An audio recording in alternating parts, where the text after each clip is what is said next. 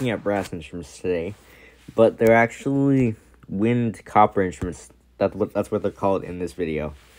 So um, yeah, they're actually look kind of nice. So let's get on with this.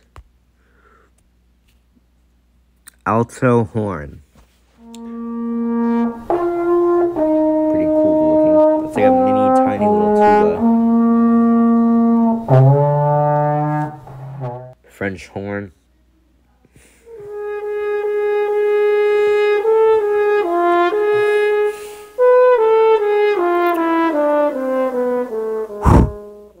Bass French horn.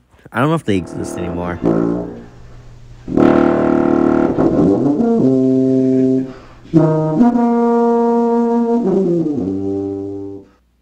Helicon, which is kind of like your standard marching, uh, like a sousaphone, a little bit smaller though.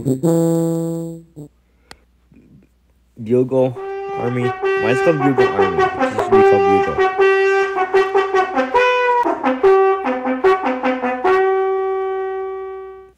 Uh, uh, Bugle of the Boy Scout was being played by some kind of some kind of, of young man.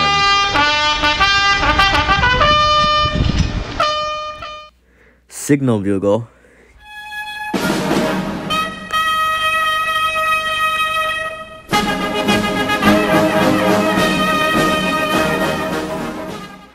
Carne, which is. What it sounds like. Cornet.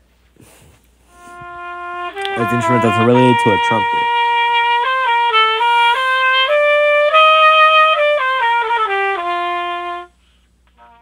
Post horn. Or post horn, what it's called. It looks, it's round, so it looks kind of like a mini French horn. Sax horn, which is a baritone horn, I believe.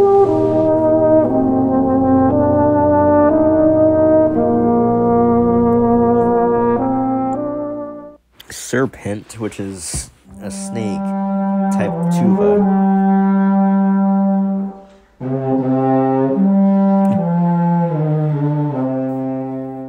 Sousaphone, the big tuba that you wear on yourself.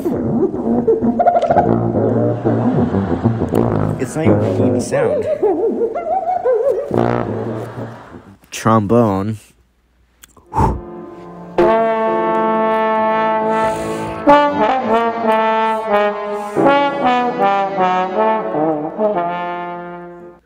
Trombone Cimbasso. Looks kind of cool, but it's, it's, it's big. It's big. The main one, the trumpet. This is like the violin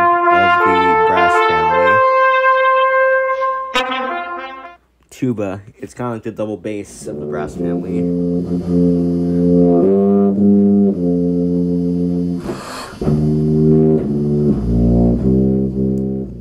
Amazing tuba. I'm not sure why it has like this sticking out mouthpiece.